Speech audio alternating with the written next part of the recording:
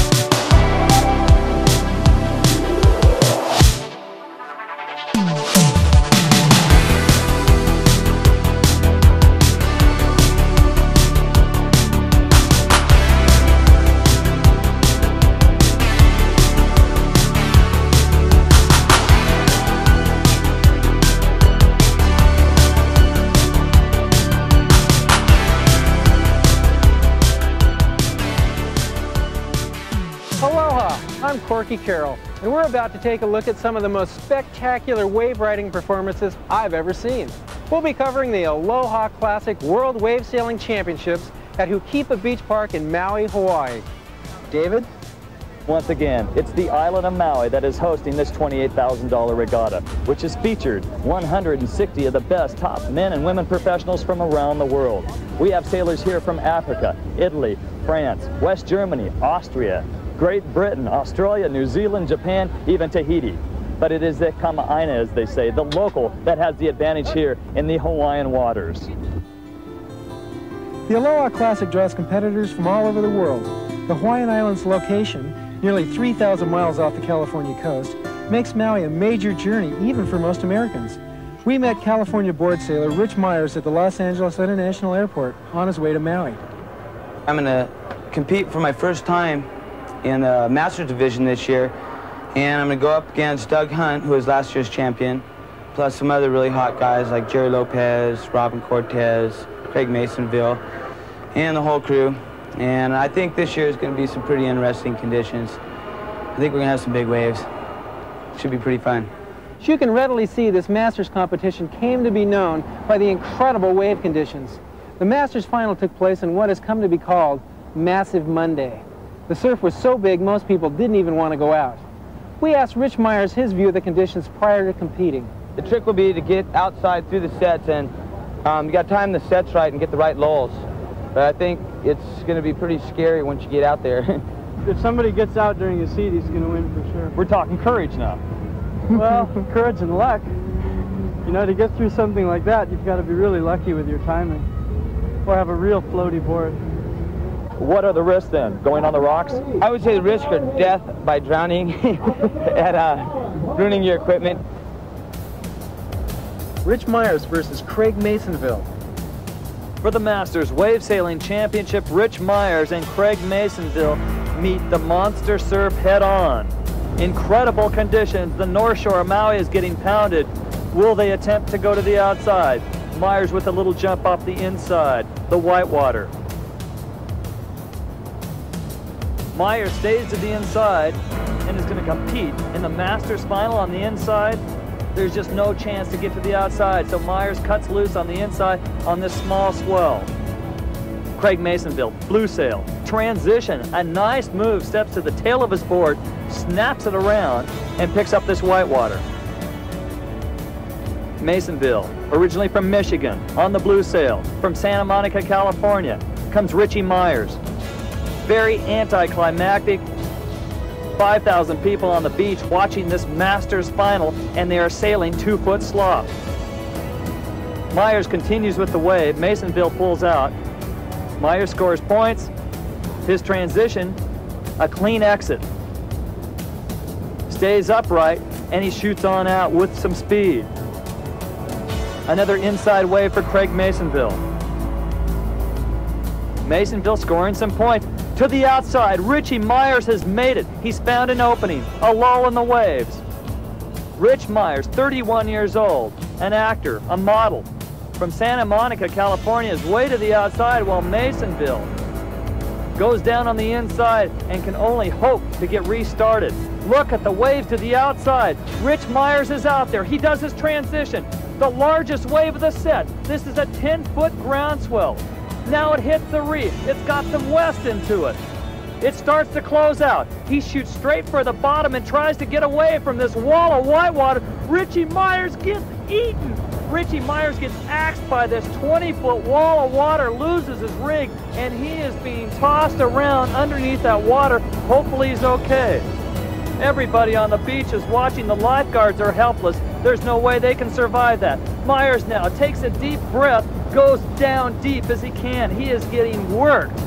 It is incredible. Myers makes it to the outside and just gets worked by the largest set wave. He has lost his rig. It is to the inside. He is waving for help. No one right now that can help him. Myers now trying to get some air in his lungs. He has just been totally torn apart, thrown around, and beat up by this surf. His rig looks like it's still intact. It is on, on the inside. He waves. He has now made it to the inside. He's totally out of breath, but he's waving for a caddy. Trying to get started and getting worked is Craig Maisonville in the blue sail. He stays with his rig and gets thrown over the falls.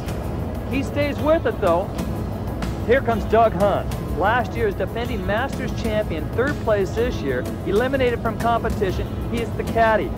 He caddies for Rich Myers, brings out a whole new rig. Rich is totally exhausted. And Hunt swims off to try to recover Richie Myers' rig further upwind. And Myers can barely get on the board. He is totally exhausted. Meanwhile, Craig Maisonville tries to score some points. Rich looks around, and here comes Doug Hunt, a great caddy, all sorts of strength. Quickly swims upwind, gets Richie's rig. It's still intact. Just a couple of seconds left in this heat. Rich Myers tries a quick water start. He is up. But that is it. This is the end of the heat. Red flags up, and Rich Myers and Craig Maisonville end the most dramatic heat in Masters competition history. Myers comes ashore, thankful that he's alive.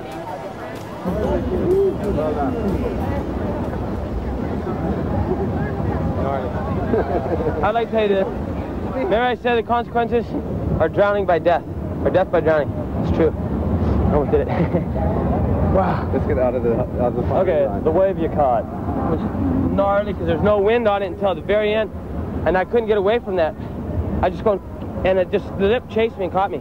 Felt it coming at you. I looked back, I go, oh, ah, get out of here, but I couldn't because it wasn't the right wind. Direction was too east. You didn't try hold Offshore, huh? Yeah. You didn't try holding on your board. Oh, it just got yanked out of my hand so fast. I couldn't try, hell no, no way. How long were you held under? Uh, I don't know, until I almost died.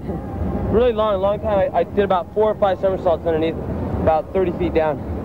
Okay. You think, can the lifeguard save me? Should I give up and wave? No, I couldn't give up, but I, I waved and lifeguard couldn't save you, man. Take, I'd be dead by the time you got out there. Were you waving for a caddy or were you waving the for the one I was just going, ah, that's how I know I was in trouble. But then by the time I got in here, then I was waving for my caddy. When I realized I was not in big danger anymore.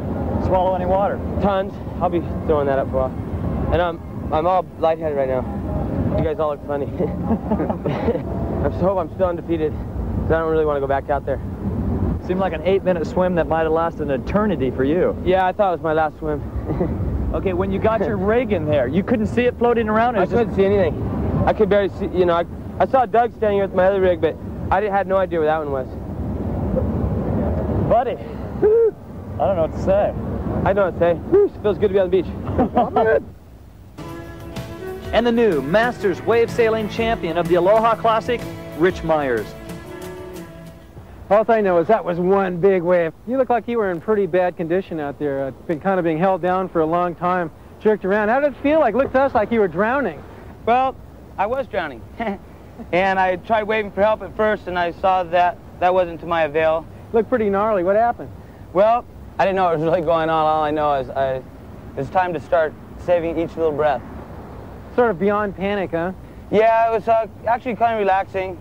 Thought a lot about little trivial things like, what, you know, who's going to spend my winning check money and who's going to be able to cash a check. And then I thought about why I kind of predicted my own um, drowning uh, in the interview right before I left out there. I said, yeah, it's consequence of death by drowning. And here I am doing that exact thing. Then I just didn't panic anymore and just thought, well, it's it, and just relaxed. The next thing I knew, I popped up, noticed that uh, it was time to get into shore, so I swam in as fast as I could. That was a pretty big wave. You know, there's a lot of interesting theories on how they judge waves, but that looked like a big one to me. How big do you think it was? Well, um, it's probably on a Hawaiian scale about 12 feet, and if you measure from the feet, the bottom of the wave to the crest, it's about a 20, 25 foot face, I imagine. All I know is that was one big wave and one bad wipeout. Yeah, hope that doesn't happen again.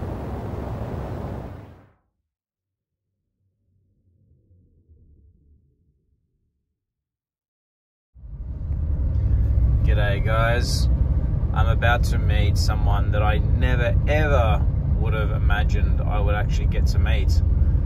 And if any of you have been windsurfing for a long time, then I'm sure you'll like this video. I was at a woodworker's, like a, furniture maker yesterday, and he uh, mentioned that a guy called Richie had done the work on his house.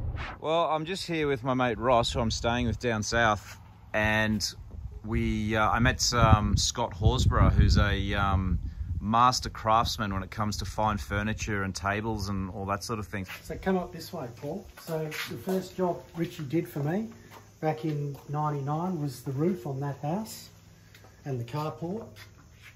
Yeah, that was my introduction to Rich Myers Carpentry. He's a highly skilled man. I've used him to build everything. So he's, he's built this workshop as well, 2013. That in 2018. Wow. No, it's just it's beautifully done, isn't it? Yeah. Yeah. So what, like, what a He um. wears a shirt when he's working because he's ripped with the six pack and he's very proud. to show people what he's up to right now because he's um he certainly hasn't slowed down by the looks of it. No, he hasn't slowed down. He's got a great reputation down here. That's why he's busy. Okay, so if anyone wants fine furniture made in the area, With free plug as well. yeah, why not check it out? I'm assuming you have a If I sell anything via you, I'll give you a commission. Oh wow, okay, that's pretty cool. Anyway, thanks again, Scott. Let's hope to get on some Richie anyway. You're welcome, mate. I'm sure he'll. I'm sure he'll call you. Sweet. And I said, "Is that Richie Myers?" Because I heard Richie Myers lives in the area. He goes, "Yeah, yeah, it's Richie Myers." I go, "Oh my god!" Said, "I'm a, I'm a super keen windsurfer. Richie Myers, like a legend. You know, when I was young, I used to have the VHS and just watch the Aloha Classic 1987 about a hundred times, where like Richie Myers gets eaten by that massive double mast eye wave." And I just couldn't pass up the opportunity to try and get in contact with him. So, Scott the woodworker gave me Richie's number, contacted Richie. He sounds very similar to the same guy in the Aloha Classic video. I believe he's 66 years old now. This is going to be special.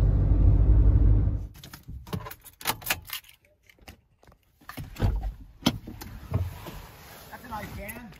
Is that Richie Myers? Yeah. Have I met you before? I've never met you, mate. Oh, okay. Good to see you.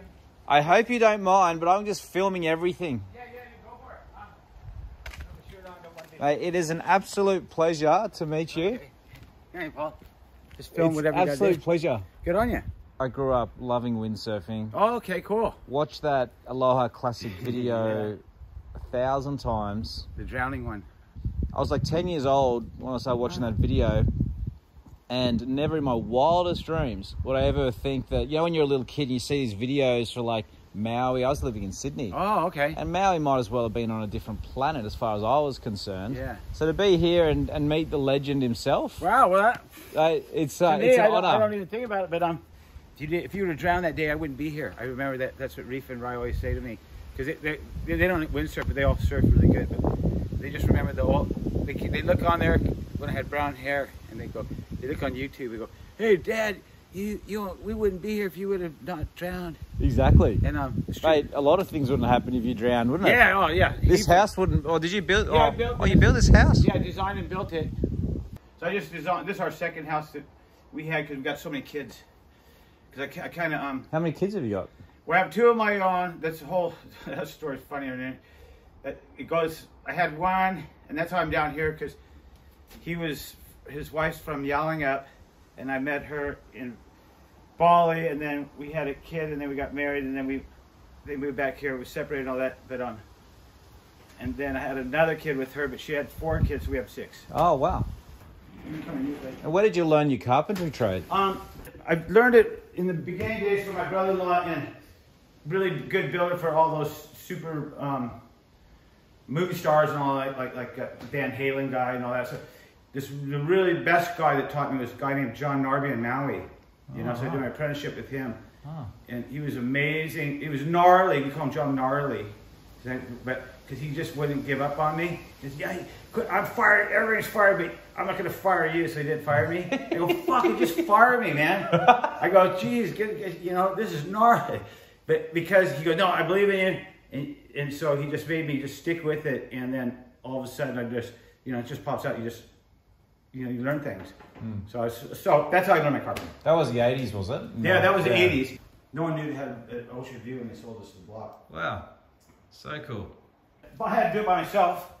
Yeah. No one wanted to help me until, till it was done. What, why'd you end up down here in like southwest Western Australia? Oh, that was the part of the kid. So when I was living in Maui and all this, I met, um, you know, then I had a, a one wife from South Africa, but she kind of got divorced, but I didn't know that yet till she, I found out later. And I met another lady named Joss, and she was Dave Sheen. He's an unreal windsurfer. Oh, yeah, yeah. So he was, they were boyfriend girlfriend. And I met him before, but then I met him, her again in Bali, and then we got have a kid, had a kid, and then she came to Maui. We got married because she's from Yallingup. So my son, my first son, um, I still lived in Maui, and I go, I wanted to live with him, so I came here. And but in the meantime, she was with somebody else, which was fine because the whole family, it, it all worked out. And then I met my wife now, and then we had another kid. Like I said, she had four before, and then I had six kids in a year. So it's cra- it's a pretty crazy story. Then your windsurfing's over and you got six kids. I finished the wind. I still windsurfed, but I'm not very good at um, port tack. Oh, right. I grew up because I'm a, I'm a surfer and a regular foot surfer. So surf. I'm a surfer sailor, not a sail surfer. Yeah, yeah, yeah. So you know, a lot of a lot of guys came from the sailing. So Maui was good for you. Maui is perfect for me, Yeah. and Malibu and Mexico because Ah, the winds yeah, are always um, True. starboard tack. So I'm I'm I'm I'm a regular foot. So I'm going down the line. I want side offshore. I want to hit the lip and just surf. I got that. I had that pretty wired. I was never really a racer. I didn't get in it for racing and, and that because I, I hated rules, but I had to do it. You know, how I go. I, I could never win a race because I didn't know where buoy to go around. So if somebody was in front of me, I could follow them. So sometimes I would get second, maybe, or sometimes second to last. And and the surfing got me through it all. The surfing knowledge got me yeah, through it all. yeah, I- yeah, but yeah, I, you know, I could. I used to teach windsurfing and all that, so I could get the techniques and all that. But I was no um, Robby Naish or Matt Schweitzer, or Mike Waltz, or Yeah.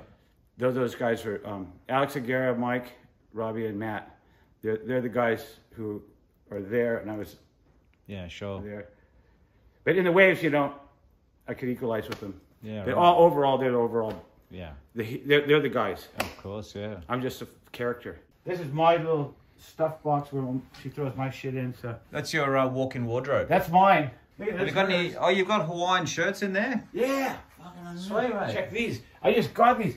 Um, from my Look at this. from I just came from America. My step I mean my stepdad gave me these fucking unreal ones. Oh wow. These are so, these are so nice. This this um reminds you of living in Maui. Oh yeah, because I that- we- everybody has to wear a Hawaiian shirt there. and that's just even the bankers. They're super. Um, these, these are high quality ones. Wow. Okay. These are high end Hawaiian shirts. Yeah, yeah. And Oh, okay. no, normally I wouldn't have. You know, I just got it gifted to you a couple weeks ago. Like the kids over there, each one has their own room in case they go Ah, out have right. to have. You know, when, start bringing girls in and out. They don't have to go through the house. Yeah. How many how many people living here at the moment? Right now, it's just my youngest son, our youngest son. Yep. couple live in Perth. Well, I have two sons living in Bali. Yeah, Reef, my first son, he's an artist. He's done all these, a lot of these paintings in here, and um, he lives in Bali. And then our other stepson, Keaton, he's um, been there for 30 years, or uh, not not 30, 15 years. Um, works for the s- AFP, Federal Federal Oh, Police, okay. as a interpreter. Oh, right. Wow. Yeah. But then and, another lives works for the government in um, Perth, and then Dan, the best surfer in our family, he is a roof plumber.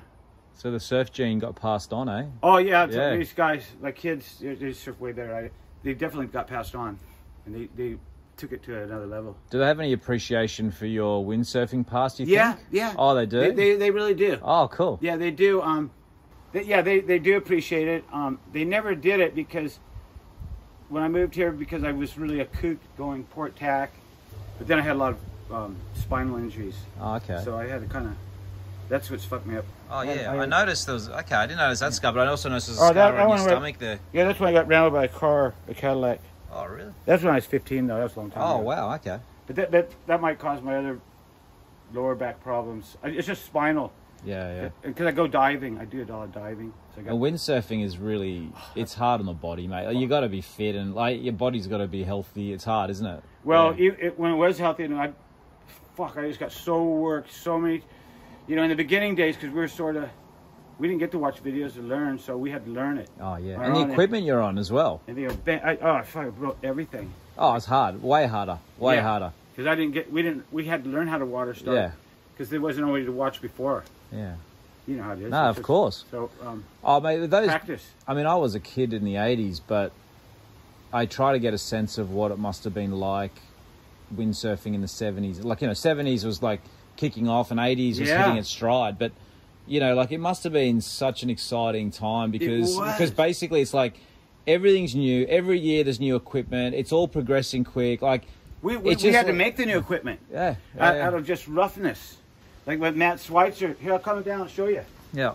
Um, like Matt Schweitzer, he was from our area, but he moved to Maui. I I actually I lived in Maui, then I moved back. Then he moved to Maui, and then I met his girlfriend that became my girlfriend for a bit, Kelby. You ever know Kelby? Oh, Anna? Kelby Anno. Yeah, yeah. And Matt was living in Maui, and then I was back there, so I got hurt surfing. So I really, um, she taught me how to windsurf. Wow. Here's the booms. Over there. Because in that in that 1987 Aloha Classic video, when you when you get out of the water, Oh, yeah, I think Kelby comes yeah, out and hugs yeah, you. Yeah, yeah, yeah. We're still really good friends. Oh, right. And all Matt and I, yeah, everything. We're all, that was just one little brief moment in the '70s. That you know, that's how we became we boyfriend girlfriend for a bit, but Yeah. we became very good friends, all of us. In fact, I just talked to her the other day. Um, Yeah, how's she going? she's going really well. Um, she lives in Redondo Beach, and I think she just got all this Is that in California? yeah, yeah. Oh, yeah. But that's where we're all from originally. Huntington, Santa Monica, Malibu. And um, that's where I met Kelby and Matt's from um, Pacific Palisades. And his dad, who they invented windsurfing. Did you see the the doco movie that just came out No. recently? Um, oh, what's the name of it? He did like it's it's a whole documentary about the history of windsurfing Okay. and like. Yeah, it's, it's really good. It's No, probably- seen it. It'd I- be I- worth, worth watching for you Yeah. because you'll probably relate to it 100%. Like, you would live through that era. Like I say, I was just one niche in it.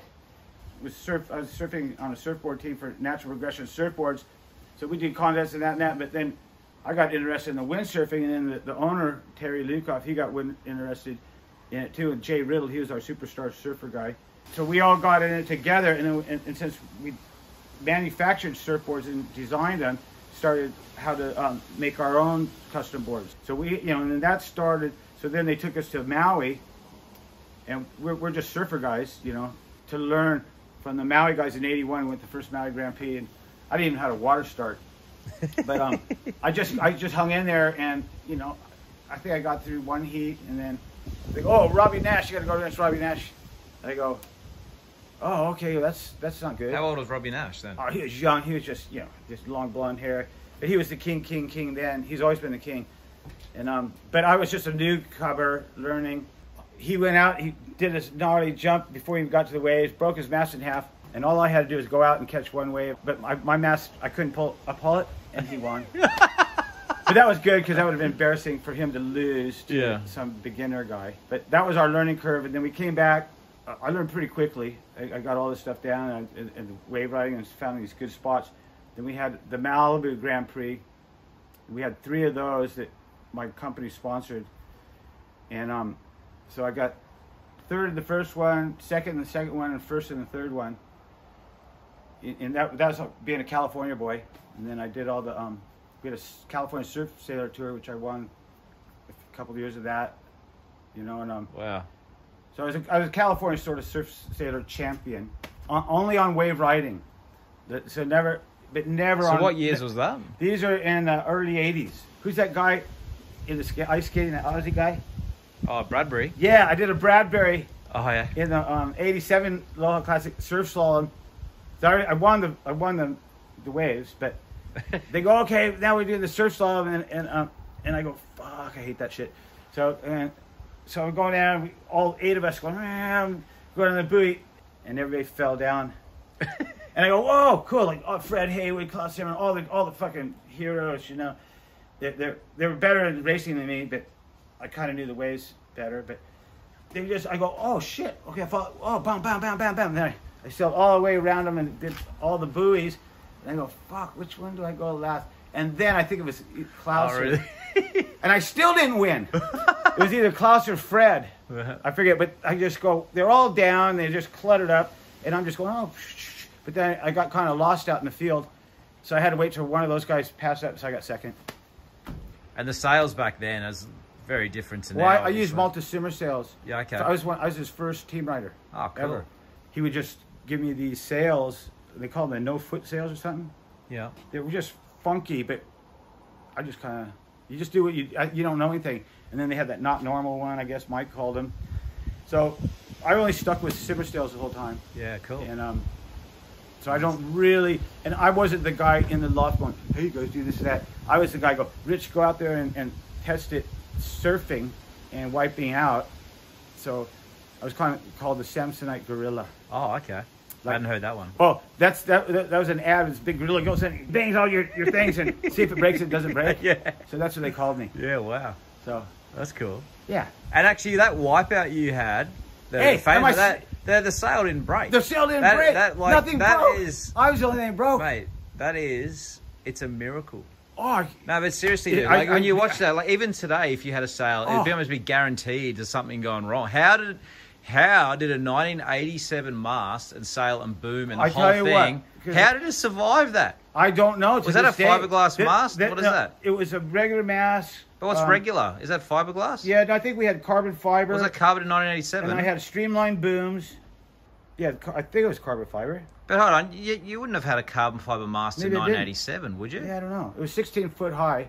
I don't know. That's a good question. Yeah, okay. I thought that was later, but maybe. Oh, look, I don't know. No, I don't know either. And, Yeah, but right. it wasn't one of the ones you clicked together. It was a full one. Yeah, yeah, one piece. And yeah. then I had Streamline Universal, and I had a um, Sailboards Maui shaped by John Price, and that just got a bunch of dents in from the from the Universal, and everything, um, ate shit. I mean, everything survived but me. and I, I thought I, I didn't know what was happening because I was drowning. And Doug Hunt, Doug Hunt, my friend, um, he was also always my closest competitor. So it was him and I were, you know, pretty much it was me and him all the time. Hmm. So, but he lost to me, so he became my caddy, and he saved. And then he sails out to go my other board. I go, thanks, Doug. He goes, Rich, your board's right there. I go, where? And it was right there. I go, I can't see it. He goes, well, here, I'll get that in. You take this. And I go, and I took it in, and then luckily the horn blew, and I go, fucking thank God, because I didn't want to go back out. Nah, looked gnarly. It was I, I well, I lost a lot of brain cells, billions, because I went. I did go blind. A- after that interview, I, wa- I walked up the beach to the village, and I went blind. Yeah, I- right. You know, I just. I So what, did you go to the doctor? Yeah, yeah. Oh, what do they say? They said you you you were that close to drowning because you lost all, so many brain cells from lack of oxygen, So what did it affect you later on in life? Well, I I'm, mean, I'm dumber now. I'll tell you these things. Like this, this, this. This is my butt that's your. Hold on a second. Is that your first boom? Yeah. What the hell? They hurt your hands. Look at that! Yeah, teak. And then Holy moly! uh, Chappie, this other guy gave this to me. These were the kind of universal joints we used to use. This is the original one. Wow, that's on the. This is the one Hoyle and um, Jim Drake designed and had a patent on. The original one. This is what made um, the universal joint, you know, patented. yeah, And then, was, and then everybody, you know, they, they changed it after seven years after the patent was over. So this was like a key component of the windsurfer, wasn't it? this was the Yeah, this was yeah, this is the component that made it a windsurfer. Yeah. And it actually looks like it works pretty well. Oh, it works unreal. Yeah. This is their this is their engineering design, the universal joint. It's kind of And- like a knee. And that's where you tied your downhaul to, was Yeah, it? you got your downhaul there. Dude, what the hell is going on with this boom? This Oh, is crazy. That's the they're cheap. Yeah, this is our out haul, and you go. Eh, So there was no grip on it. You just grabbed no, onto you the. fucking wreck your hands. It was horrible. And that's. stainless steel fitting. What I learned, I had Kelby goes. Doesn't matter if you surf. I don't give it. Surfers are the worst people to learn teach because you think you know it all, Uh, and so you, you got to go. I don't know how to surf. Okay, teach me the whole technique. And girls always learn better because they listen. So once you learn the technique, then you can go off on your own thing. So that's what. That's how I did it. And then so I teach in the middle of the day, and every day the wind come up, we'd go wave riding up at um, Stacus, Leo Carrillo, and just you know just surf because that's all I want to do anyways. And then this is my friend Mo. I don't know if you know this. He he died a few years ago. Um, Mo. Where's he his- from? He's from here. Oh, okay. him and I would do big waves together, so we were big wave partners. Oh, And um, he had melanoma, oh. and he died at um, 38. So, so he did this self thing before he died. We'd be surfing together and all that. And I, I told, I promised him, I'd take his ashes and put them in a big tube. So Mo, You- he's, he's a um, hero here, That's so cool. and um, so it's a museum. That's our board. So that's Mo. I just towed him into it, and that's Mo and Jake Patterson. So I had his ashes in here for like oh, five years. I promised I would tow you into a big wave, and then that's where I'm doing right here. So he's in my hand right there, in this hand, and I'm towing him into a wave at Yallingup and let it go with his ashes. oh, you, you did it there. Yeah, Yallingup. Dude, what a way to send someone off. Yeah, well, That's Well, we did it, and, um, amazing. and everybody thought I was going to That go is too. so cool. Well Yeah. done. Wow. So that that was that, so that's why it's called the museum. A family trophy room. Yeah, no, this is so cool. I'm just taking my time here because okay. there's a lot to see. There's a lot. Oh yeah, it's Ho'okipa. Dude, that's a that's a good photo. yeah. I, Isn't I, I did a lot of uh, calendars. And then that, that's Yallingup there. If you had to take a guess how many sessions you had out Ho'okipa windsurfing, how many you reckon? I, I, I have no idea because all I did was windsurf there every freaking day. Really? Yeah. What's this? Peer to No, peer. that, that was a lame thing. Uh, Malibu Pier to Santa Monica Pier. baseball. That's my dad. He was he was played for the Dodgers. He was a baseball player. Oh, that's professional team. Wow. That's my dad, yeah. He was a um, Brooklyn Dodgers he played for. So he got a couple World Series. So that was that a um, was that a good like? Because nowadays, if you're a baseball player, you're like a millionaire. I mean, back in those that- days, he, it was like yeah, he was gonna be, but then he beat up the umpire and put him in the hospital for a month, so he got kicked out. He got what? He beat up the umpire, called him Oh, out. the umpire. I think Yeah. the empire. No, the Yeah. umpire. Oh. So he had a bad temper. So my dad, he was going to be one of the new guys to replace the other um, Hall of Famer Roy Campanella. But my dad had a bad temper. And, Really? And he got pissed off the umpire. And he punched him out and put him in the hospital for a month. Almost Holy killed him. shit. So he got he got banned from professional baseball. Pretty funny. That pirate ship at at Padang Padang, that's me. I stole these. I didn't steal them, but I took all these portholes, and then the pirates chased me out, and um, I was there, and then I had to slide down that rope, and they were chasing me and my Really? wife and son. That was pretty funny. To Jimmy's. Yeah, that Jimmy's Z's, they were my sponsor. So who? What was Jimmy's? Jimmy's was a clothing co- company. Look at that. That's When you had brown hair. Oh, yeah, I, my when I had kids, my hair went white. Look at those harness lines. Mate, that's sick. Wow, look at that. That was in '82 or three in Mexico. For- for- Oh, look at that bottom turn. Yeah, I love that. That's my favorite. Holy moly. That's a Ho'okipa. Dude, how much... I love that one.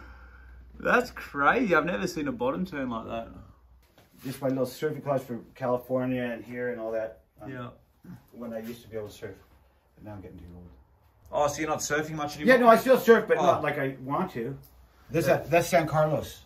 Yeah, I okay. turned into surf camp, but that's what place I discovered for the um. Yeah, so to just Okay. tell us quickly about that, because you're saying Okay. you, you reckon you discovered it, or? Yeah, yeah. Well, um, is it for for modern day sur- windsurfing, I went and actually the fir- there's some other guy did it, but Brian Bill and I did the first um, exploratory thing there because we didn't know, you know, surfing is pretty new, windsurfing is pretty new. So I went with Brian, a couple girl models, and uh, this guy in Fiji, Scott Funk, told me it's a really good place for high hold on, wind. I've got to pause you second.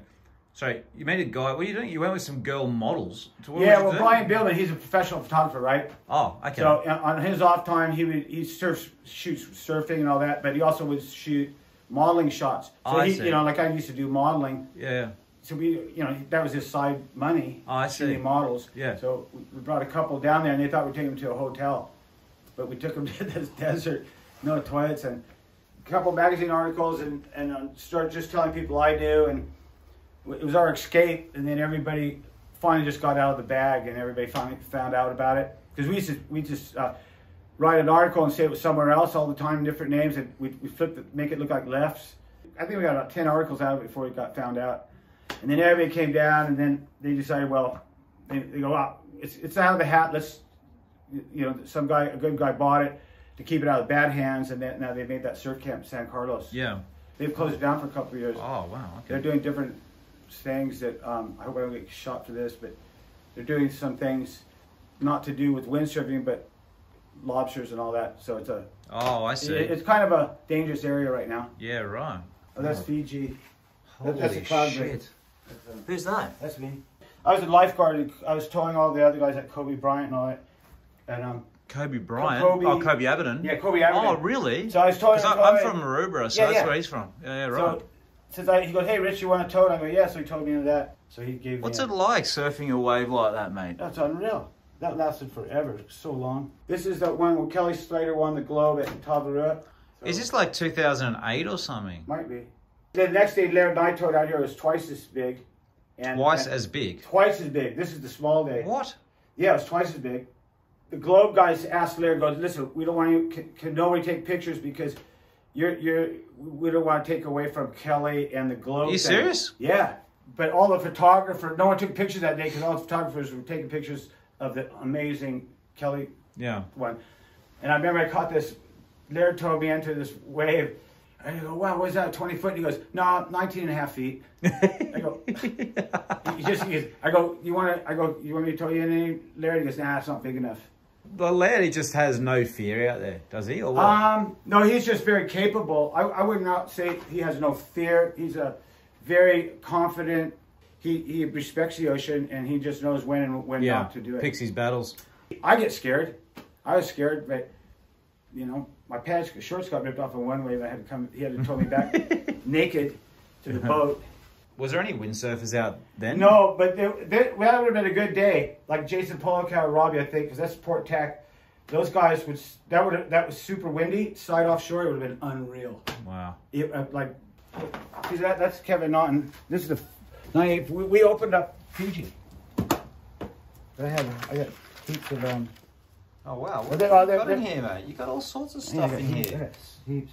And um, that's Tavarua in 1984. We did. We opened the island up. But this is a magazine that just has all like ocean sports. That's kind of cool. Well, this was. This is. This is uh, Surfer magazine, and that's me. That's this is this day. This is right here. This that boat, same boat. Oh, he jumps right. in, Oh, okay. and that, we did windsurf magazine too. So now the man calendar. Then it was supposed to Oh be for my girls, but all the gay guys bought it. This is all Mexico. stuff. Was there a lot of women windsurfing back Oh, then? there were so many. They were so hot. Were they? Beautiful, unreal. The, the girls back then were so good. Oh, there's. Give us a look at that. That's the yeah. um, poster for the Oh yeah, that thing. forty bucks for a video back in 1987. Then good or bad? Well, imagine how much forty dollars in 1987. How, that's probably like, you know, a couple of hundred dollars an hour. Is it? I don't know. Well, hundred, you know, I mean, it's forty dollars in nineteen eighty-seven. It's probably like a hundred, hundred and fifty dollars now. With inflation, I never thought about it because mate, you can't even buy a DVD now. Like DVD now, what twenty bucks? 50, it's like cheaper. You know what I mean? Oh, okay. So it's bloody expensive. Well, that was a long time it. ago. I know. Corky Carroll, he's my surfing hero. Oh yeah. And he was so cool to me. I think he went out with my sister and did her years before when I was a kid. I didn't want to say anything when he was interviewing me, but hey, um, Are you did you my sister? I Are didn't you do that. serious? I thought about it. I go, you know, uh, you know, but you know how surfers are. Cloudbreak in 1984 before they opened the island, before the, the um, windsurfers, I mean, anybody. Wait, what do you got? Can I have a look at that? Yeah, yeah. Hell? This is the paperwork from the 1987 Hic- Hic- Aloha Classic. Yeah, I got all. I you know I got. I never lost a heat in three years. I, did, I won three in a row. So, because you're in the ma- what's the Masters? That's 30 years and over. oh, okay. It's not very old, is it? Uh, well, then we thought it was old. this has the. Um, So what's it saying? oh, there. here? That's the one with the big wave. Oh yeah. So what magazine's this? It's windsurf. You want a beer? Actually, you know what I was I would absolutely love? Yeah. It would be a cup of tea. Oh yeah, no worries. Look at the crowds. There's Wow. 5,000 people watching me drown. This is the Fiji one in '84. Before that's Suzanne and me, right off Tavarua. Oh right, okay. We did photo shoots. You know, it was- we promoted the island for Surf Surfer magazine and Windsurf magazine, way before Scotty and all those guys. Way before Namotu. What is this? Look at all these people. Here's some old stuff. With Doug Hunt and calendar I did for Windsurfer Wow, because I used to be on their team. that's not a bad turn for a board like that. Oh, it was horrible. I had to do it for their their ad, you know. Oh, look, the wind weapon. Yeah, that was the lamest thing ever. This is a Mexico. Um, there's John Geyer, me, Jay Riddle, Mike Oh, Walsh, and John me. Geyer. This is this is a. You can look through these. I'll go get your tea. Oh, that's Simmer. What a turn. That's hectic. Thanks for coming by during the holidays to talk about your contract. 1989. Should I be looking at this? Is this private information? I'm happy to inform you that we are able to offer you 180 day terms on your production sales. Thanks for your support. Keep shredding. Another year, another successful season. How has this compared to the others? Really, it's been a year of sliding through. It's been pretty shitty for me personally, but on the racing side, it's been good. It's affected my family and personal life though, and now I've got to sort out that side of things. Even the legends get problems, eh? Victory wetsuits. Pete Cabrinha. He's another legend. Does anyone wear wetsuits like that anymore? With like a tank top springy thing? Star of the Bold and the Beautiful. This is. I I wrote this article on Malibu. Because back in those days, windsurf they try to sort of incorporate windsurfing with just popular culture. I yes, mean, like, exactly. That was part of your contract. You have to, you know, go here. and get incentives. So I, I you know, I used to be extra for the A team and the A team. yeah, yeah. I, oh, I did heaps of stuff. TJ Really? Stewart, and Mr. T. How did you get all those gigs? Um, through windsurfing, because guys like the guy who the stunt coordinator for it, Steve Boyum, he windsurfs, and so since I was the top windsurfer guy there in Malibu, that's where all the movie stars live. So he would go out and you know windsurf with me, and they go, "Hey, you want to do this?" I go, "Yeah." So he'd always get me into all these jobs. I was always cap, typecast as a surfer boy or a beach boy. So I got got all the um, yeah, I get to hang out with all the beach girls, different commercials, and all that kind of stuff. What's it like working in the uh, the, the sort of entertainment industry? Well, it's um, it was good then because the money once you're in the union, you're in the union is good, but it, it's it's it's over glamorized. You know, there's still work. You could work all day. And a windsurfer, they want to get a jump for Chevrolet commercial, a really expensive commercial. And then I had this agent goes, oh, this Richie guy, he does it. He'll do it for.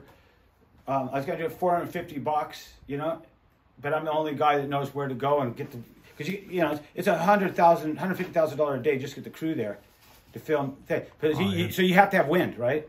I show up to the beach where I windsurf every day anyway. There's a full film crew in a trailer. I had my name on the trailer. Actor Rich Myers. I go, whoa, fuck, that's pretty cool. So I get in there. I didn't want to be in there. I just wanted to windsurf. So okay, and they, everybody's. I got like fucking hundred people, grips, this and that, cameras, trailers, and you know, I just want you to go out there and just jump. And I, and it was no way. I was like, fuck, how am I gonna jump with no way? So, okay, no way. Boom, boom, boom. Uh, five minutes. Okay, got it. And he goes, you can come in. And I go, but I, I, this way I do every day anyway. I don't. Well, I, I this. He goes, no, you're done working. I go, but I'm having fun. Yeah, yeah. And you go, okay, well, whatever. See, yeah, yeah, you, you do what you want, but here, bang, bang, jing, jing. And they go, oh, so you have to pay residuals. Would you rather have four hundred fifty dollars plus a hundred, or would you rather have fifty thousand? I think I'll go, and, but and you just give me ten percent. Let's go to fifty. I'll give you ten percent. That's how I bought my house, first house. Wow. So, I- Wow. so that was the best thing ever happened to me. So then I got signed into the Screen Actors Guild. I don't know how to fucking act. Rich Myers, 31 years old, an actor, a model. I'm always being excited about that, that, that. And as soon as I open my mouth, it's all fuck. I go to CBS Studios, you know, all the couch guys are, okay, uh, come on in, uh, Ms. Raj. What, what do you do? Uh, He goes, so I got this part on the bowl of the Young and the Restless. And I go, oh, okay. So can you do it? Can you read for me? And I go, I gotta, I gotta tell you something. Um, I'm only in this because I was a windsurfer. I really don't know how to act. And he goes, "Are you one of the you, you that young boy out there windsurfing in front of my house in Malibu Point?" And I go, "Probably because I'm the only guy." He goes, and he goes, "Hmm, hmm, I kind of think you're cute." I go, "Ooh." He goes, "Tell you what, you got it." And I go, "I got the part." I go, he goes, "Yeah." He hands me this fucking script, like thick. He goes, "Here." So I go, "Uh oh." I, I had another friend. He was trying. He was a good actor, but he couldn't get in the union. I go, "Fucking Rocky, what am I do? What am I do?" Oh shit, Rich. He goes, I go, I don't know how. I, I got this job. I don't know how to memorize all that. Freaking out. Oh, I'm fucked up now. I accepted this job. I'm young and restless. I don't know how to act. And and he goes, Rich, Rich, you've only got this one line. You're boy number one. I go, oh yeah? I'm not the main guy. And all you got to do is say, how'd I do? Oh, so I got to memorize that. How did I do? He goes, how'd you get this? I'm an actor. You don't even fuck you're doing. Oh, and I go, oh, I know, but it's live. So we go in there live. They okay, boy number one, boy number two, come down to the studio, bringing. And there's all the famous actors in there going, oh, gee, dude, they're all cool. And I go, okay, I don't know how to tell you any of you this, but I don't know how to act. I've never done this. And, and he goes, oh, it's just all timing. I go, yeah, but what do you mean by timing? Fuck, I can't even talk normal. Anytime. Everything's connected, and I finally go, how, how do we do? I fucked it up on live TV, and they can't undo it. So I get, they would if I did good, they would have wrote me into the. Hold on, live. They- It was live. Yeah, we, they filmed live. Like it's it's it's actually right there. So once they put it on tape, that's done that day. It's you can't just go and come back and if you're a superstar, they'll uh, yeah. Or if you do good, you get written into more things, and that's what everybody hopes for. So they get they want that one break to say the line right. My one break, I said so fucked and wrong. Everything was fine until I opened my mouth, and I, you know, I got paid and my residuals, but I go never got hired again. The guy, the cat, the gay casting guy got fired. He Obviously, hired you just because he liked the look of you. no, he wanted he, he wanted me It to was keep- like a gay version of Weinstein. it was totally fucking gay. Like he wanted me to get back Did he in try there. and crack onto you? Yeah, fucking Did a. Did he? Yeah, that. did, you, did you sleep with him? Just so no, absolutely not. What's this guy getting at? I told him everything. I go, I don't know how to act. I fucking. There, there's probably 50 other guys auditioning that day that were qualified, and and I I, I couldn't believe that he hired me, and they couldn't believe it because he couldn't think I would be that bad. So I think he got fired. But I got other jobs where you don't speak the residuals and things through, through commercials and stuff. So I did a bunch of that, and that, that kind of helped me get my first house and all that.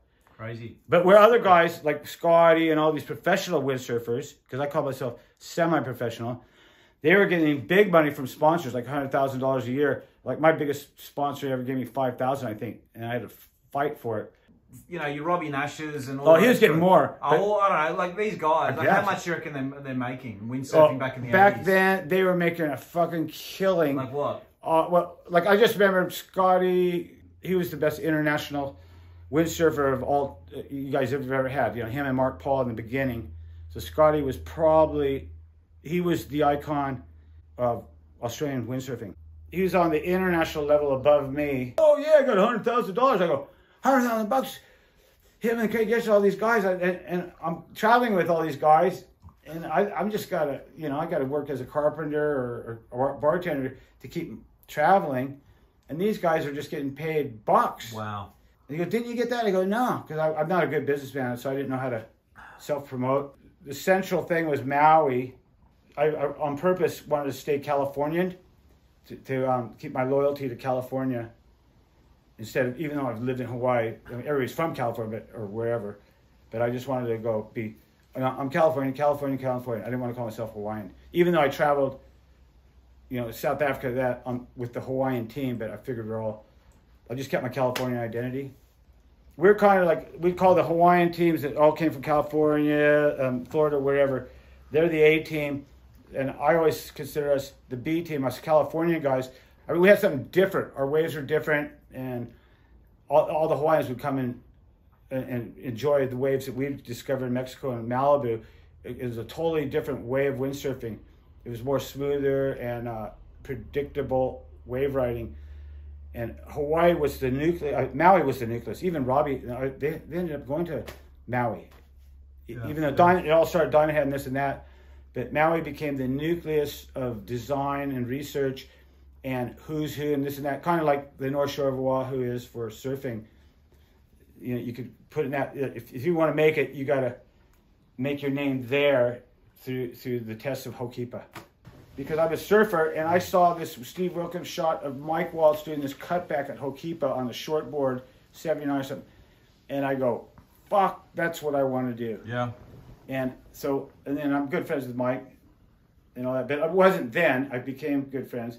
But he's the one that inspired me to do it for the surf. Cause it was just an extensive surfing for me. Yeah. And I, I, I had to do all that fucking racing bullshit just to, you know, get the sponsors to pay me for my this and that and that and that. So you, that's just part of what you do, just to do what Yeah. you really want to do, which was travel and explore. True. Why What the does hell is this? This is a judge. Me and Gerry Lopez and all these guys, um, we did this whole course on how to be a judge. And um, but the Europeans, when they took over the whole circuit, um, they got rid of all those locals. There's a, I thought, I thought there was a pretty bad judging for a while. Yeah, I, I really saw a lot of this. Um, and Dodgy I'm, stuff, I'm it? one of the guys you'd think that would go, oh yeah, fuck Bjorn, but I go, nah, that's fucking unfair. So Bjorn and I think he got underscored a lot of times. He was fucking as professional as they get. Him and Yeah. Anders. Um, so I respected Anders and Bjorn. Anders was cool, wasn't he? Anders I grew so up. fucking on. He's unreal. So Anders and Bjorn, he's Iceman. I have a huge amount of respect for him.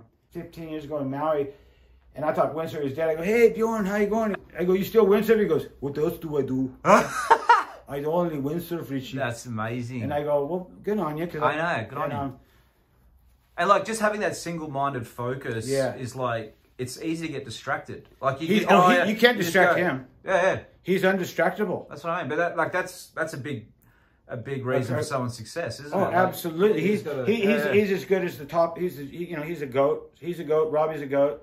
Uh, then you got Jason Polakow. out. He was just he's he, he's the one that turned all the wa- the wave riding. He's he he's the Kelly Slater of, of switching. He's the new momentum and, and the new board design because we used to do you know our asymmetrical this and that. Uh, Jason, he was just fucking amazing. Were you in Maui when he rocked up? Yeah, he he, Oh, he, okay. keep us. He, oh, when did you leave Maui? What year? Uh, between 90 and 95, as back and forth. Okay. And, and, and Jason used to always, him and his parents used to always um, hang with us and then leave. Jason left his, his, his van and gear at my house. That was my old era. He, he, he changed it to the new era. And, and like what everybody's riding different types of short windsurfer boards and ripping. Rip. That, it's just crazy what it is now. After I, I, I left in 88. And now I go, after I, my last little master's thing or whatever, it was so embarrassing. Was like fucking one foot. And I go, I won 80, the first 86, I won a perfect six foot Ho'okipa as good as it gets. And then 87 was that big gnarly one. And I won that, and as big as it gnarly as it gets. And then 88, it was just a full on um, anticlimactic thing. It little waves like this, but I won. So I went through the, the, the best, the biggest, and the smallest, and I and that's when I quit. The difference between wave sailing in 1987 versus 91 is just like light years away, isn't Uh, it? yeah, it's like the it's like the revolution that Kelly Slater did, and um, I I give credit heaps of credit to Jason Polakow for board, the whole change in, in, in boards. Like now you get you know pop out models, uh, really light ones, but they're so much smaller, more liters. We didn't. I didn't know what liters was. I thought it was always something to do with drinks. Until I went back to San Carlos, they go, "Oh, how many liters you want?" I go, "Oh, fucking give me, an eight, give me an eight four, man." Yeah, well, Jason and his dad and mom, Nick and Wendy, they're fucking so funny. But Jason, he was just a little kid. Like, yeah, I think I could have. My first kid could have been conceived in their bedroom in Torquay. Popped out nine months later after we visited them. So that could be something that we don't know. I, I think I told Jason a long time ago. Reef, Reef is my son. He was Wow. born in Maui. Look at that stance. He's got he's got his front foot in front of the mast. No, the thing broke. Oh. I, I, I, Oh. pretend he's doing a duck jibe. That's this, the one, the big wave one. Oh, hold on. Oh, right. That's that's the uh, the That's the- trophy that you got. For that one. Holy moly! How cool's that? Eighty-six. Oh, that's the uh, the six foot. That that was that was one that was perfect. That was Wow. absolutely the most perfect Ho'okipa. You couldn't Wow. ask for better. And that's the trophy. Is a bowl. yeah, yeah, That that's pretty cool. Like yeah. not only can you just sit it on the shelf, but you can actually use this trophy. yeah. Yeah. Mate, I reckon that's better getting a trophy Oh, like that than a better than that, isn't it? Absolutely, because this Mate, is broken. What's that? I got like this one. This is pretty cool for surfing. Oh, cool. Yallingup.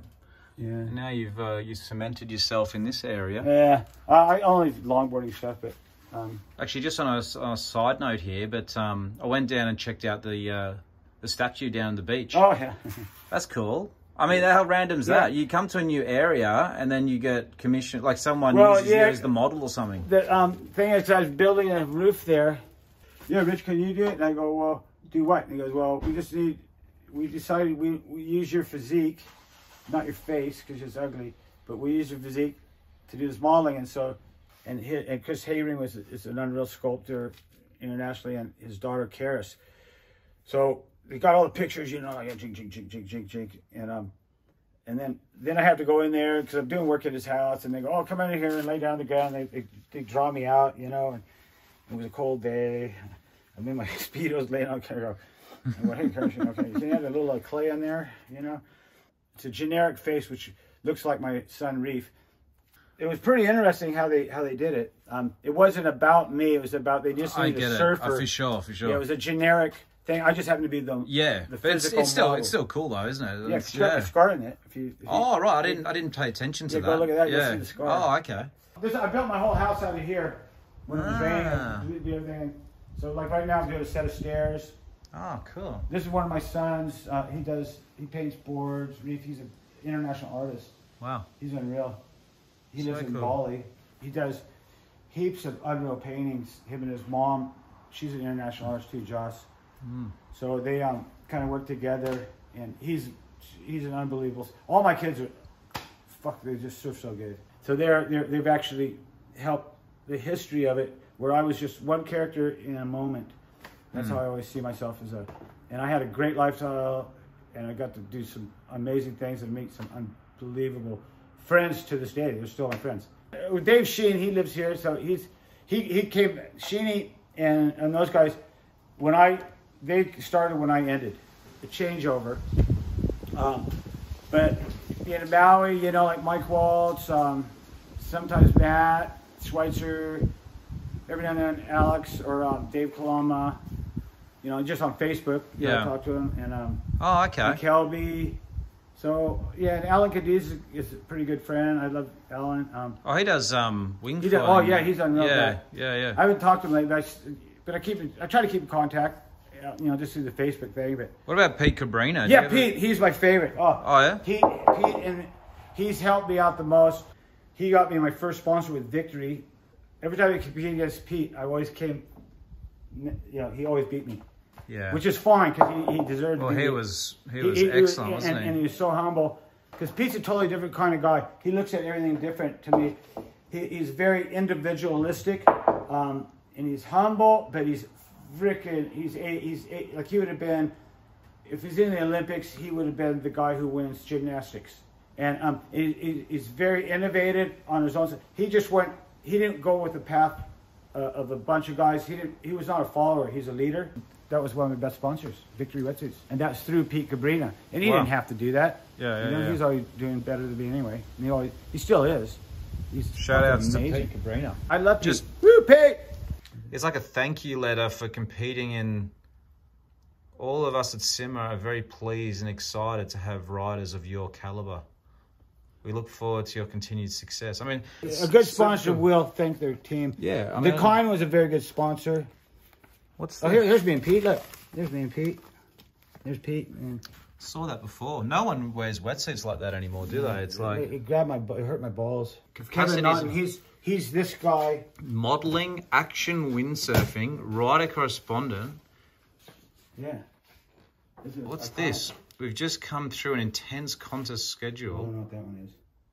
So you get a cover photo, you you Yeah, get a hundred bucks. Yeah. So if you okay on a magazine, you get a hundred Yeah. bucks extra. And a few cover shots. That's cool, isn't it? Yeah.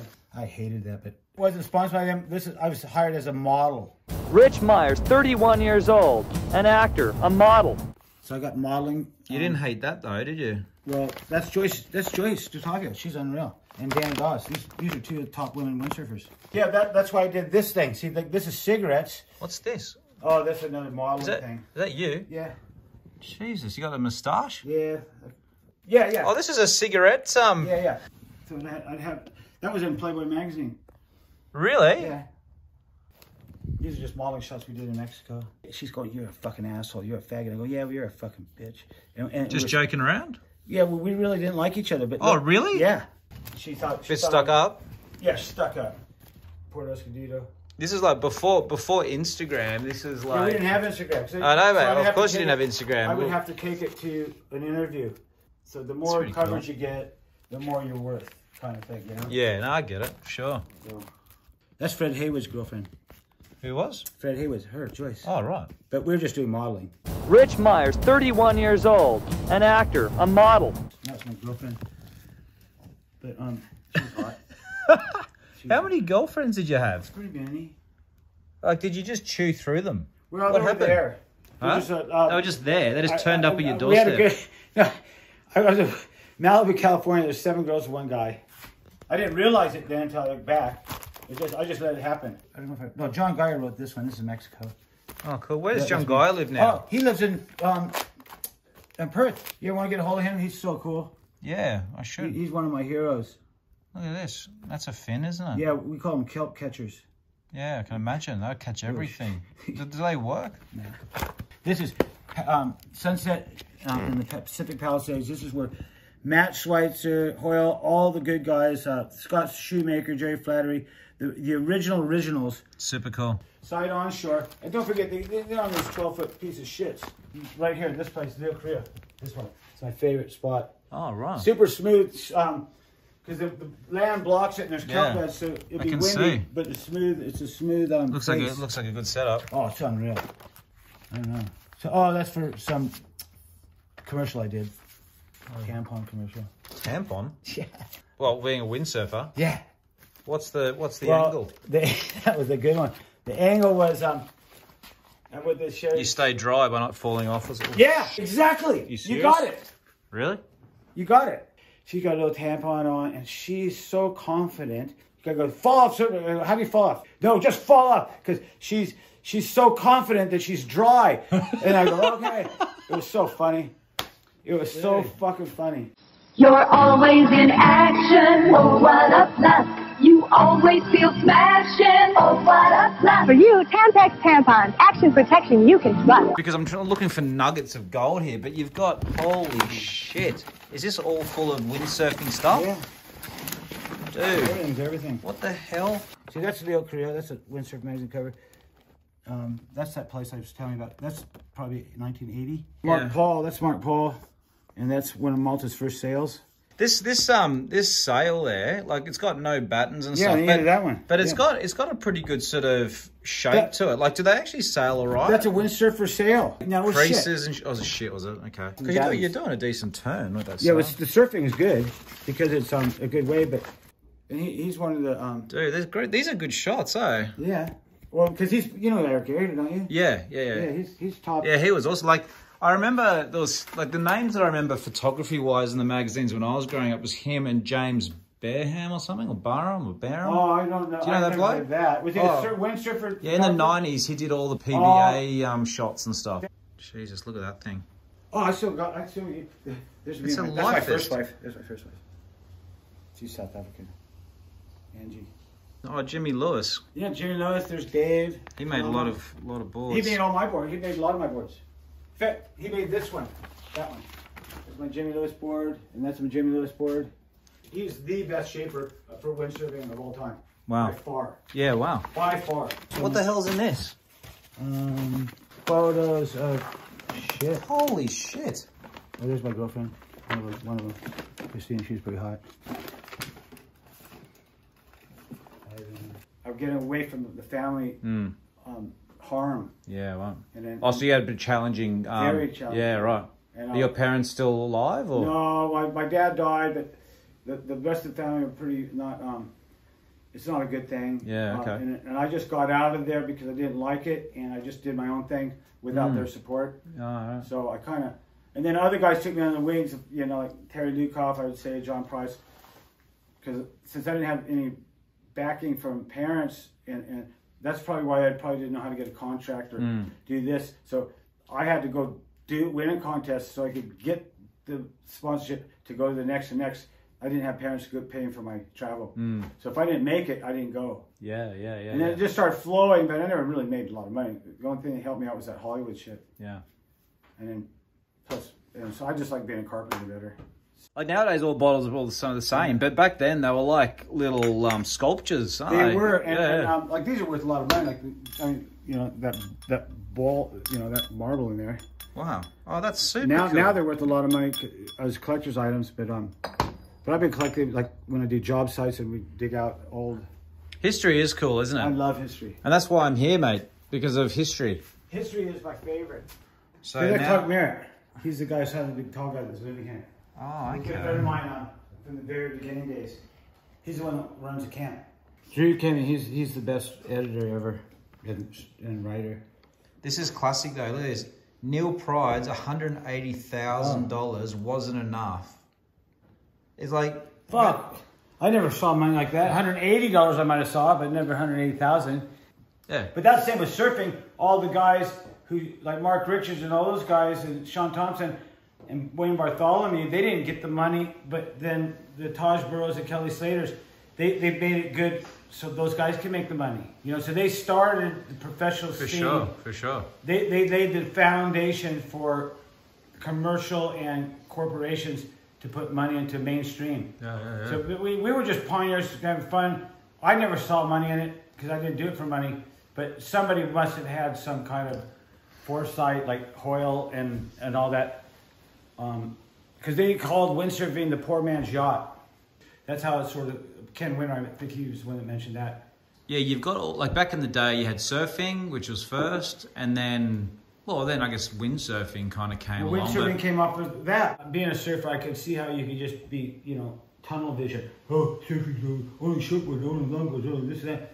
And then some of the guys go, well, like Gerry Lopez and some of our icons, the open-minded ones, they kind of go, yeah, let's expand and go snowboarding, this and that. Go through a lot of negative minds. Fuck, well, I'm a surfer and I fucking hate some fucking windsurfer coming whacking by me without knowing that, hey, it's my turn. And Yeah, he yeah. just catches the wave out there. He didn't realize I was sitting there. Yeah. And this that. So I, I, I even wrote a thing on called Rich Myers Rules of the Road, so you can have respect for everybody, um, kind of thing. Because I, I saw both sides. Being a surfer, I go fuck those assholes. Yeah. Being a windsurfer, I go let's police ourselves, um, because everybody has to have fun. It's not just one person.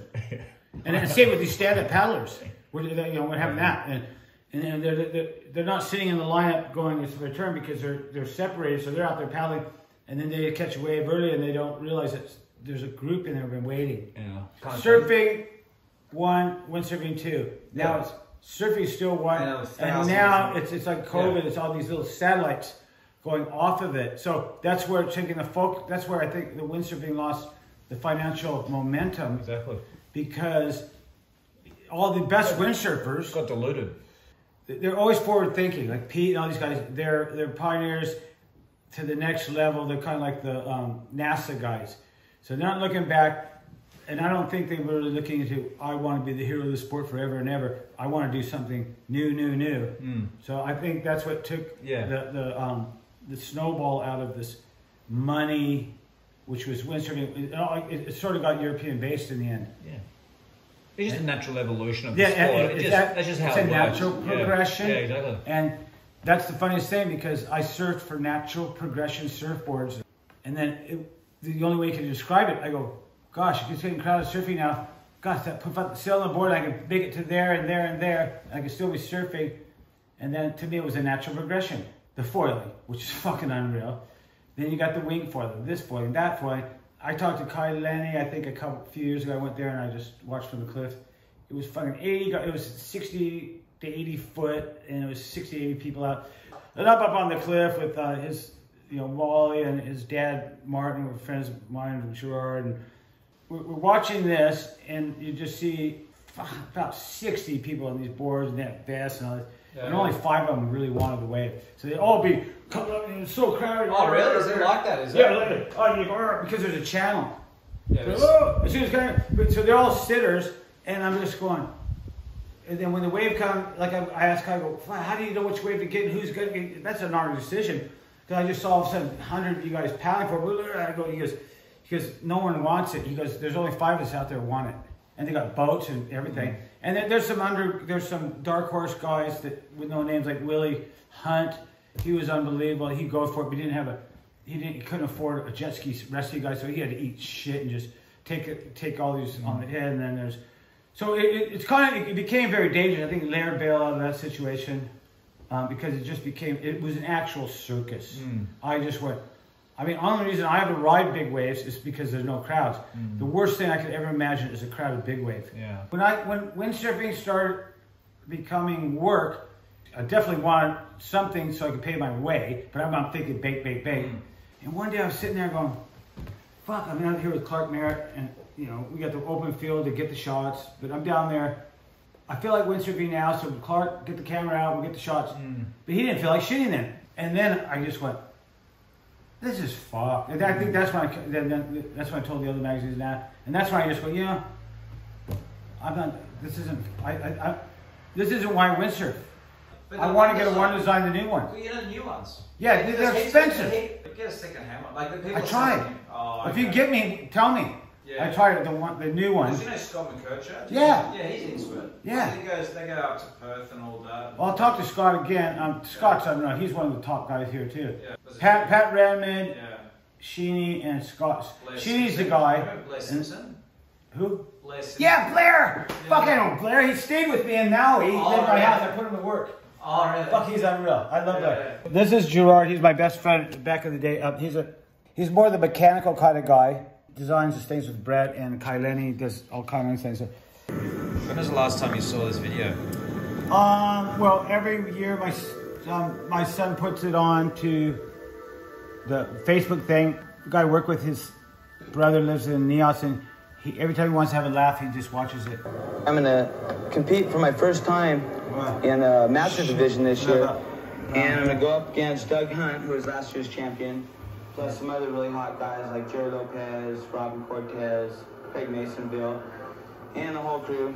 And I think this year is gonna be some pretty interesting conditions. I think we're gonna have some big You had a waves. good mop ahead there, didn't Should be you? pretty Yeah, I did. That was a long, long time ago. windsurfing. If somebody gets out during a seat, he's going to win for sure. We're talking courage now.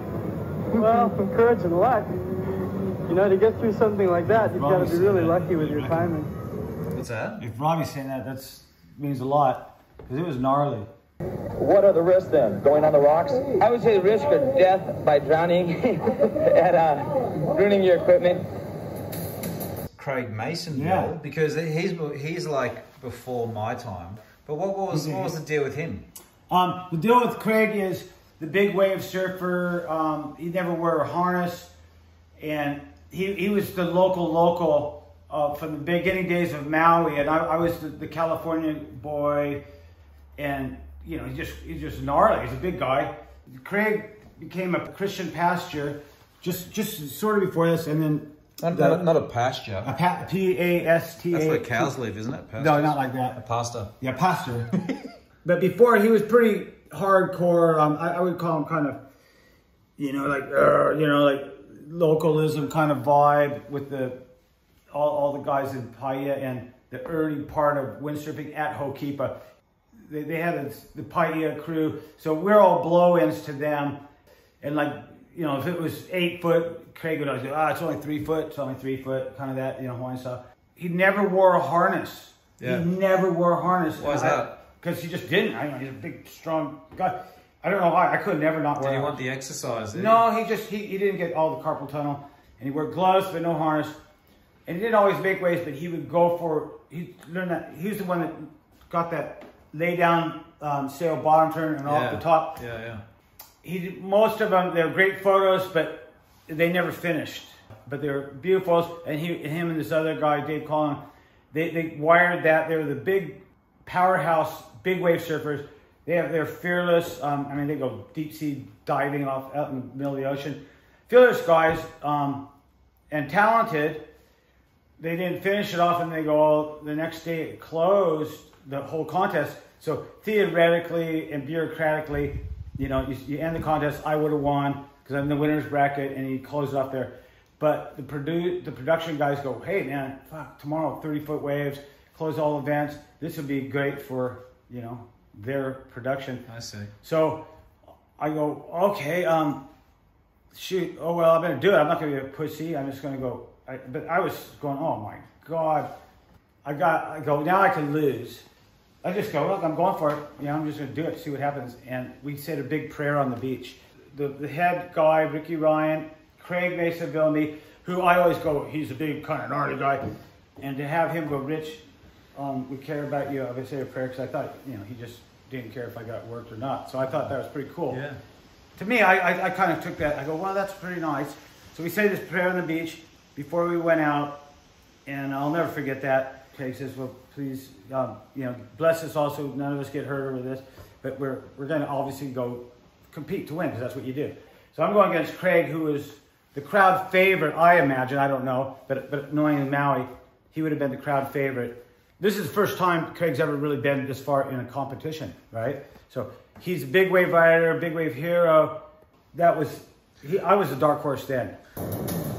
For the Masters Wave Sailing Championship, Rich Myers and Craig Maisonville meet the monster surf head on. Incredible conditions. The North Shore of Maui is getting pounded. So when you watch this, is it still I, I, I feel every move. I can really? You can I- just remember it as clear I, as I- day. I, I do. I have a good memory. I remember the little, every little chop hop, every little That's stupid. mad. so That's I know I actually do remember everything. That's amazing. I remember. everything. I made that stupid little thing. to the inside. What? What stupid little thing? Yeah, well, just on this little wave, it's Oh, a right. and I'm just trying to score points. Craig Maisonville, blue sail. Dude, that was a good jive. That was decent, eh? Like, That was really good. So he got good points for that. Snaps it around and picks up this whitewater. And that was pretty good for Craig not being such a freestyle guy. Look, Maisonville, no harness. originally from Michigan, on the blue sail, from Santa Monica, California. So I did a few more turns. Watching this Apparently I found out I won even if I didn't get that big wave. To the outside, Richie Myers has made it. He's found an opening, a lull in the waves. Rich Myers, 31 years old, an actor, a model. I have to pause it there, right? way to the outside. I know. The part that I just find so funny, like, is when they, you, you, go, Rich Myers made it outside. Actor, he's an Yeah, actor, that's model. I'm like, like that part. It's so funny. It Huh? makes so much funny. Some of my friends go, "Man, that's your model, porn producer. You know, and they, they, they, that was the funniest part because that's where everybody starts laughing. They go, because the guy just kept going on and I go, well, whatever, you know. Okay, Yeah, yeah. I never heard about Carpenter. But it's just, it's it's such a. I'll tell you why that's so funny to Well, it me as be. well. I don't know why, but You, you're out there in the final in some massive waves, and the commentator's like, "He's an actor, model." Oh. It's just like, oh, he just does it all, or some shit. Oh, Like, it's just, it's just funny. It's just like, it's so classic. It's such an '80s thing to say. actor, model, porn star, producer. Exactly. Well, it's like a little action figure. You know, it doesn't. It's just like, you, well, you know what I mean. Yeah, okay. But everybody seemed to like it because it Goes down on the inside and get the wind dies in there. to get restarted. Look at the wave to the outside. Like, how far out the back did you oh, go Oh, so to catch far. this? Like these are the rocks. That's the headland here, pavilions. And 8 to 12 foot waves break here. These broke out here, so Jesus. far in 30 feet deep of water. Like when I was out there, I would look, I could see past, you know, Jaws, and I've never been out, I've never seen a wave break out this far. Wow, wow. So I go, I better take this because I, I didn't come out to ride a small wave. Because in between sets, you know, I want to get a big wave. But what was that? A was that like a three wave set or four wave set? Or Yeah, about five or six wave Oh, set, oh, and, five and, wave and set. I, I went for the biggest one, and the wind I couldn't get in it, and so then the wind started to die because it turned more offshore, and I sort of barely caught the one I caught because the one went, other one went under me, and I, I, the wind just totally went offshore instead. So that's why I ate shit because I couldn't get speed. He's out there. He does his transition. The largest wave of the set. This is a 10-foot groundswell. Now it hits the reef. It's got some do left into the it. time. I didn't really see that turn, to be honest. Oh, yeah, It it's starts to to see. close out. He shoots straight for the bottom and tries to get away from this wall of whitewater. Richie Myers gets eaten. I felt like nothing just ripped it. Everything just. I felt like I just my limbs were all over the place, and it just. I, sometimes you can hold on and go through it. I couldn't. It just totally tore me apart. I, I felt like a, an ant in a washing machine. I go, uh oh, this isn't good. So I always count one, you know, one roll. You roll with it because the wave's rolling. One, two, three. I counted five rolls. I go, okay, that's it. And then my ears burst from the pressure, so I knew it was deep. I was screaming for the top. and My eyes were open, and I just went. The pain was so gnarly, and then I lost The the, pain in your ears? Oh, the pain in my whole Oh, body. was just- it was just so painful drowning. Everything went away, and then I had no pain, and I saw a half hour black and white movie when I was four years old, chasing a dog in a dog kennel. Really? cowboy. Yeah, it seemed to me a half hour video of all when I was a little kid, all these really good memories. And then, but my body fought, fought, kept fighting, and I was probably lower than that, but I could see all the whitewater bubbles and bubbles, like heaps of it. Just, and I just sucked in. Then I got the pain again, and I just sucked in all the foam. Ugh. And but apparently that's what saved me because there's a lot of air in the foam. I get to the top and I go, oh, okay, now the pain's really back. I don't want to do this again.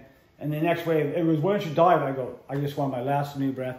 So I took the next one on the head, and I was so lucky it didn't push me down, it pushed me in.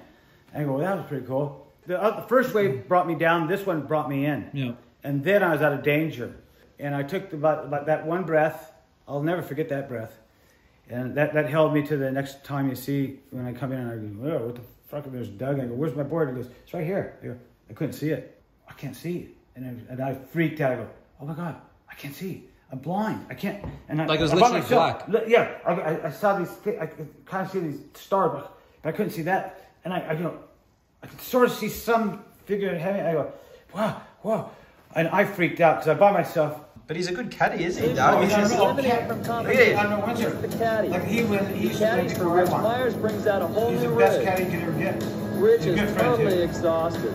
Mike, You see, And he's such a good, comes good off surfer. to try to and, um, recover Richie friend. Myers' rig He further did help upwind. me out. And Myers Oh can my barely God, get dude.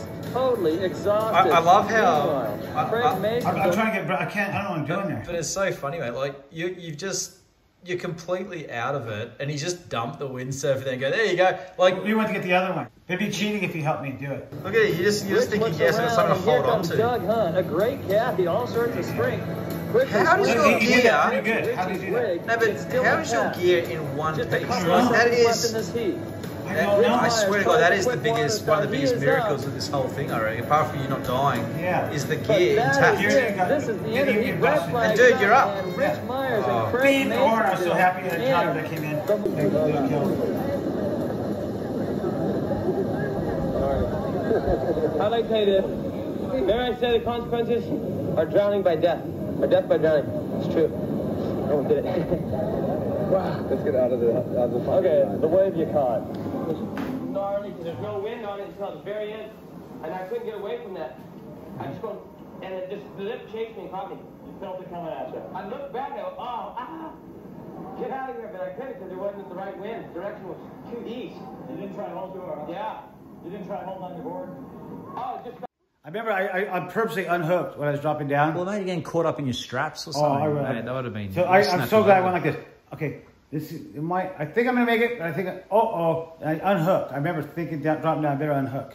I don't know, until I almost died. Really long, long time. I, I did about four or five somersaults underneath, about 30 feet down. Okay. You think, can the lifeguard save me? Should I couldn't. give up and wave? No, I couldn't give up, but I, I waved and lifeguard couldn't save you, man. Take- I'd be dead by the time I got out there. That's a Were you solid waving white for a water, or were you waving for the First So far time, lifeguard? out. go down, let somebody know I'm in trouble. There's a lot of turbulence and there's a couple different rips. You've got a channel here and a channel there. So there's all these different secondary rips. Hmm. You know, because there's a lot of water turbulent. coming in, so the water has to go out, right? Yeah. Seemed like an eight-minute swim that might have lasted an eternity for you. Yeah, I thought it was my last Eight swim. minutes. Okay, Holy when you got your rig in there, you couldn't see it floating around. I couldn't see anything. buddy. I don't know what to say. I know what I'm saying. Feels good to be on the beach. And about oh, I think it was about a half hour or so. Just just sat by myself and just you know, talking about it and seeing all these bing, bing, bing, shh, and I could see sort of there, but not that way. And then about half hour later, I start to see again. And then I went later to a doctor, you know, a couple days later, and I explained the whole thing like I did you. And he goes, "Oh yeah, you just lost billions of brain cells, and that's right before you drowned. All the oxygen's out of your brain, and this and that, and then that's what happens. You, um, you know, the, the vision thing. That was scary. Going blind, I don't think I could take that. Jerked around. How did it feel like? Looked to us like you were drowning. Well, I was drowning. and I, I was. Yeah, to be honest. I know. I, mean, what do you I just say? love that bit. Yeah, well, I mean, It's just so Well, funny though. I just love how casual nature you are about it. It's it's just it's the best. Anyway. I tried waving for help at first, and I saw that that wasn't to my avail. Looked pretty gnarly. What happened? Well, I didn't know what was really going on. All I know is I, it's time to start saving each little breath. Thought a lot about little trivial things like, what, you know, who's going to spend my winning check money and who's going to be able to cash a check. And then I thought about why I kind of predicted my own um, drowning on- in the interview right before I left out there. I said, yeah, it's consequence of death by drowning. Here I am doing that exact thing. then I just didn't panic anymore and just thought, well, that's it, and just relaxed. The next thing I knew, I popped up, noticed that uh, it was time to get into shore, so I swam in as fast as I could. That was a pretty big wave. You know, there's a lot of interesting theories on how they judge waves, but that looked like a big one to me. How big do you think it was? Well, um, it's probably on a Hawaiian scale about 12 feet, and if you measure from the feet, the bottom of the wave to the crest, it's about a 20, 25 foot face, I imagine. I guess I didn't get that All right. I know is that was one big wave and one bad wipeout. Yeah, hope that doesn't happen again. I, I just, if I was going to do it, I'm going to do it. I was going to go, I really tried to get the biggest wave because why even do it if you're not going to, that would be kind of ridiculous to not go for it. So no, I was going to go for it all the time, but I was hoping it didn't, I was hoping it came out better. But I took, I, I had to deal with the time and the, and the wave period to get that wave. Otherwise, I, I couldn't be picky and, and choose a, better shaped wave because it was, I mean, the, if, if I miss that set, there's nothing else is going to come. And that was the most ridiculous thing to do is to go out there and to ride a little wave in. I couldn't even fathom that. I couldn't even live with myself. If I went out there and waited out, sit and ride in a five foot wave. That would, to me, I couldn't have done that. Yeah. It's just kind of more of an adrenaline thing. I'll just do it, and that scares me the most. Sometimes I never know what my uh, correct decision is going to be. Hmm. But You just threw yourself in the deep end. That one. I remember there was a girl on the Yellowstone River in Montana, and I, I kept that in my mind always. And this girl, she's in a bikini, and I'm sitting there freaking out at 50 foot. She goes to the next level, 60 foot, and um, she's a Montana girl, and I was a little California boy visiting. She goes, "Yeah, if you think about it, you, you know, um, you'll never do it." And she just went bang, and for, I, I'll never forget that. So she was right. Because the more you sit up there, you could try it one day, and you go. The more you think about it, you can talk yourself out of it. Yeah. yeah. But um, and most smart people talk themselves out of it. I definitely um, played the game to win, Yeah. and um, I, I was glad I did. But I didn't think it would ever. I didn't even under, know this thing was being filmed like that. I mean, I never knew. I never thought about it. Yeah, but like that whole thing where he goes, Richie Myers gets eaten and stuff. I mean, like, was a lot of people talking about it back then? Yeah, they were really? going. That was gnarly. They go shit. So I think, um, I think, yeah, a lot of everybody did, that I knew came in. They go, they couldn't believe I, they were happy for me that I, I lived. So I, I would have to say, um, even Craig was happy that I lived. And he's he never windsurfed again. He quit after that. Oh, really? Yeah, he became a real full-on pastor after that. It was very spiritual in certain ways. It wasn't about winning or ego. It was about, hey, we lived, we're having fun, but in the meantime, let's not die for a little accolade. accolade. Yeah. Um, and I think, uh, so, so I, I was moved in a lot of different ways because of that. And it wasn't about ego, um, but we, we, we went out to do the job. We're having fun and, you know, hit that level. And I think after that, they started making guys have more safety promotions and jet skis and, and, and, and helicopters because right that, that was Wild West. There's there's zero safety uh, see backup.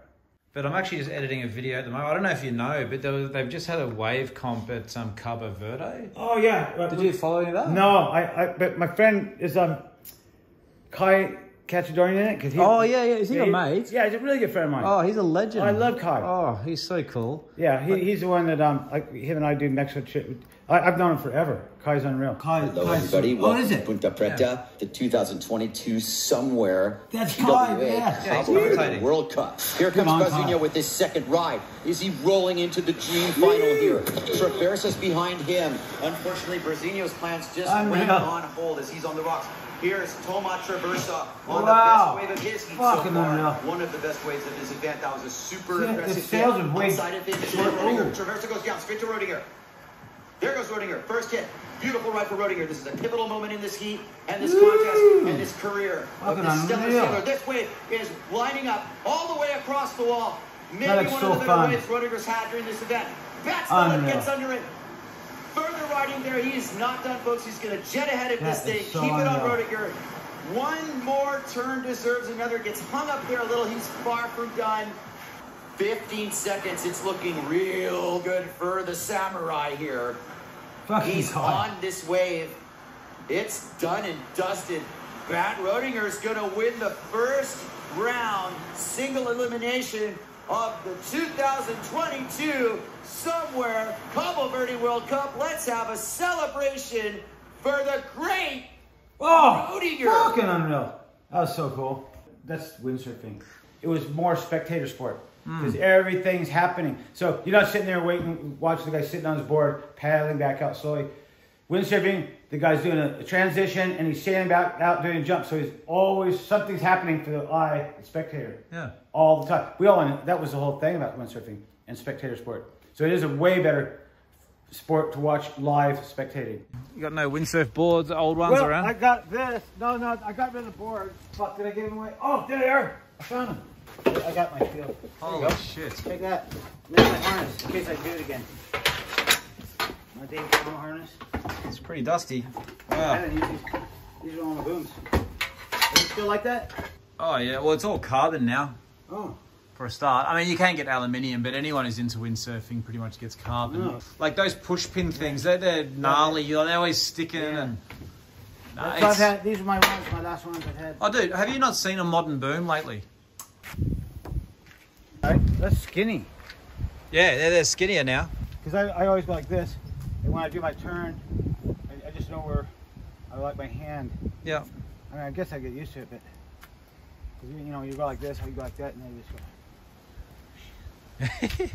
Like the carbon actually goes all the way Yeah. through now. You know how Oh, it used to be like bolted on? Yeah, yeah, So now this is one piece. Oh, and, like- and if you look at the, the tail, yeah. you see this is all one piece now. Oh, okay. Wow, that? this is. Yeah. But So- they're not that much different in weight. It's still. Yeah, I guess because they have to be pretty solid, but Yeah.